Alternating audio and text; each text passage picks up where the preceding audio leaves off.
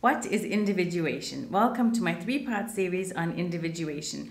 We're going to be talking about, in this video, individuation of the narcissist from his mother in the original uh, point in life when he wasn't a narcissist, before the trauma. The second part is going to be the individuation of the narcissist from you, the abused person, or the person who was victimized or at the receiving end in the codependent relationship. Um, and the third individuation will be the individuation of you from the narcissist. When you, of course, are discarded or discard him, and the breakup occurs, and you will need to become a new you.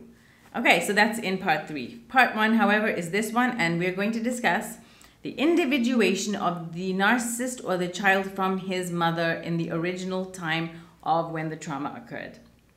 So, sadly, I'm sure you all are aware that narcissists are not born, they're made. They're created when the mind fragments at a very, very young formative age, usually under 10 years old, sometimes under 5, more likely under 5 years old. The mind splits and causes a, a psyche fragmentation where they have an intensely ruinous childhood due to a terrible episode that has occurred either absolutely horrific abuse, neglect, or complete and absolute spoiling and glorification of this child.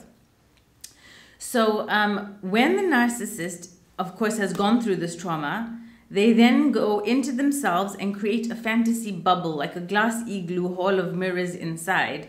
That's like fun town mirrors that you get at a circus, where every single thing that they view from their eye is distorted. It's a distorted lens through which they view the world. Now, they will see the world as though they are the only ones in it and that everyone else in the world is an NPC or a non player character if you're familiar with gaming. Everyone outside of themselves is an object to be used and does not have feelings or emotions. They're the only one that exists on earth and therefore they're the only ones that matter.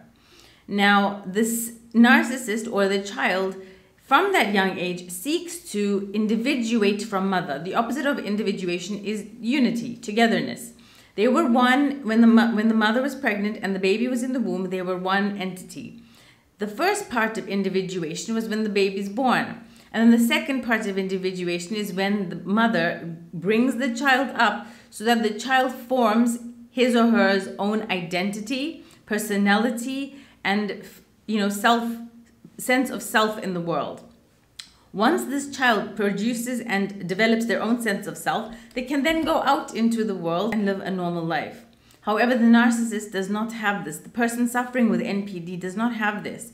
They were stunted in their growth, therefore, they suffer this arrested development because they have not individuated from mother, because they have not grown out of her need for her maternal care. So, what happens is they seek out mother in every woman that they meet, although they also have a hatred for mother because mother has betrayed them, mother has abandoned them, mother has neglected them, mother has abused them, or all number of things. So what they seek to do is they seek to find mother in every woman that they meet.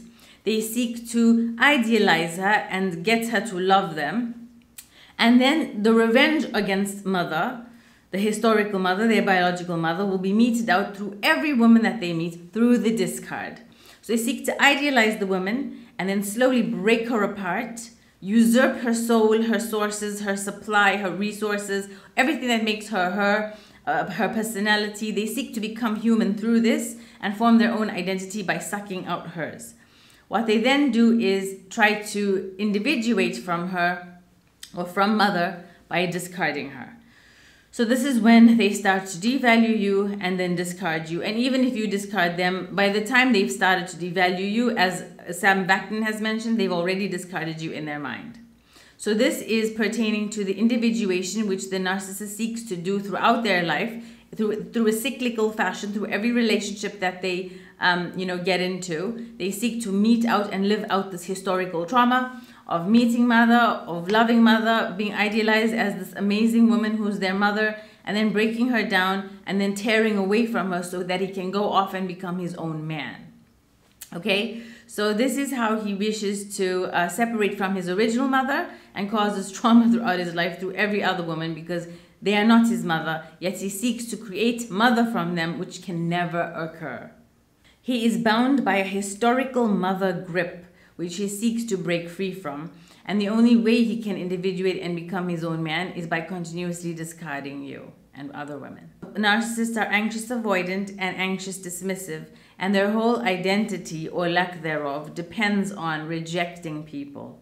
Because he has a historical mother wound, he despises women and he despises his mother and he despises every woman that he comes into contact with, no matter how severe the love bombing or believable. He actually despises you. And because he is an empty shell of a human being, he's like a black hole vortex with a whole lot of spinning, you know, introjects around it that form his unique fantasy world.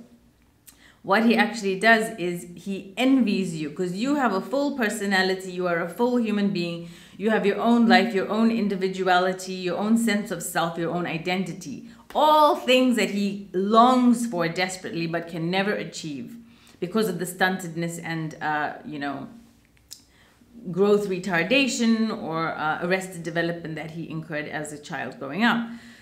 So he actually secretly hates women and secretly envies you. He envies you for your full-bodied lust for life, the way that you are happy and can feel joy and all the emotions that he cannot feel. So, in other words, yes, he's trying to individuate from you by discarding you, but he's also trying to cause you injury due to his extreme envy for you, in that you can have all the things he cannot have. So he see, he's like a stone statue or a wooden Pinocchio boy seeking to bring himself to life by, bring, by sucking out the life out of you and soul out of you, draining it out of you and pouring it into him so that he can pass on his wooden stoneness to you and exchange that for sucking your soul and becoming human and bringing himself to life. It's horrific, it's tragic, it's a horror story. You think that it's a love story, but it actually is a horror story and it sounds like your worst nightmare because honestly it is. And I pray that everyone going through this gets as far away from their narcissist as possible to re-individuate themselves to the best, highest, possible version of themselves than they ever were with a narcissist or even before. It's your time to rebirth. So rise like a phoenix from the ashes and stay far away from people who wish you harm and ill intent. Assalamu alaikum and goodbye.